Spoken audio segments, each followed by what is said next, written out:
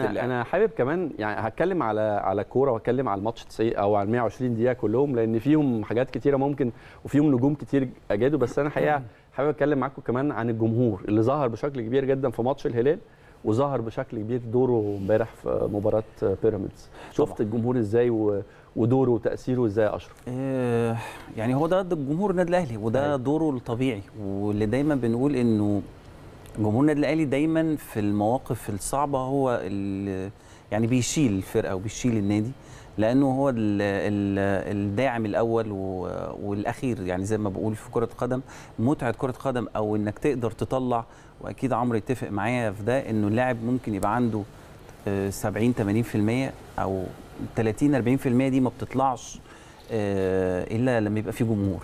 آه، في حاجات كتيرة جدا اللاعب ما بيقدرش يعني تبقى ناقصه حاجة أيوة. أيوة. الجمهور فعلا بيخليك آه، معنويا و تطلع وداخل من اللي عندك. كتير. جدا جدا مم. حقيقة فشفنا ده في في مباراة الهلال قد إيه الجمهور فرق مع لعيبة النادي الأهلي شفنا ده في مباراة امبارح والحقيقة آه، أنا أتمنى الفترة الجاية إن شاء الله جمهور النادي الأهلي يبقى موجود دايما وجمهور مصر والله يرجع كمان والله يعني هو المناسبتين دول آه، بيتهيألي جمهور الأهلي ادى صورة طبعاً. ورسالة واضحة وصريحة إن ودايماً مش الكرة بس المصرية ممكن مش جدا جدا تفتح البوابة. الأهلي بس آه. للكره المصرية عامه طبعاً. أيوه طبعا آه.